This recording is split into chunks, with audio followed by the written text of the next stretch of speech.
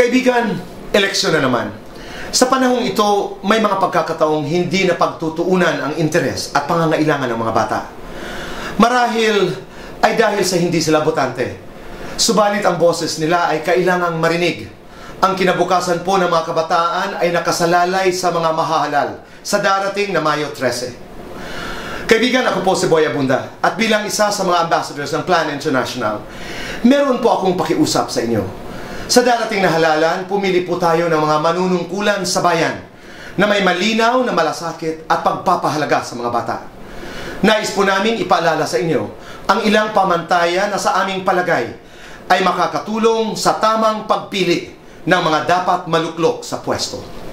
Una, may malinaw at matatag na paninindigan ukol sa karapatan ng mga bata at may karanasan sa paggawa ng mga batas at programa para sa mga ito.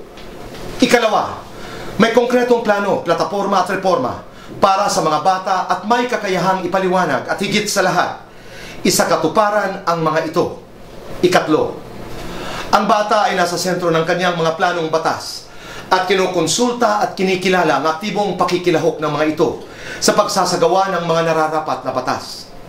Ikaapat po, walang bahid na paglabag sa karapatan ng mga bata, karapatang pantao at pangungurakot sa pondo ng bayan. Ikalima, nagbibigay ng pagpapahalaga sa mga batang masigit na nangangailangan ng kalinga, katulad ng mga may kapansanan, mga batang lansangan, ulila, naaabuso, mga batang nasa gitna ng gyera, naapektuhan ng kalamidad, mga katutubong bata, at iba pa. Ikaanim, may malayang pag-iisip, hindi nadidiktahan at kayang sumalungat sa desisyon o linya ng kanyang partido o grupo kung kinakailangan, lalo na sa mga usaping may kaugnayan sa pangkalahatang kapakanan ng mga bata. At higit sa lahat, kaibigan, may progresibong pananaw sa hinaharap at kinikilala ang kanyang panunungkulan na may kaakibat na pananagutan sa mga bata at sa susunod pang mga henerasyon. Muli kaibigan, ako po si Boy Abunda. Iboto po natin ang mga kandidatong may pagpapahalaga sa kabataang Pilipino.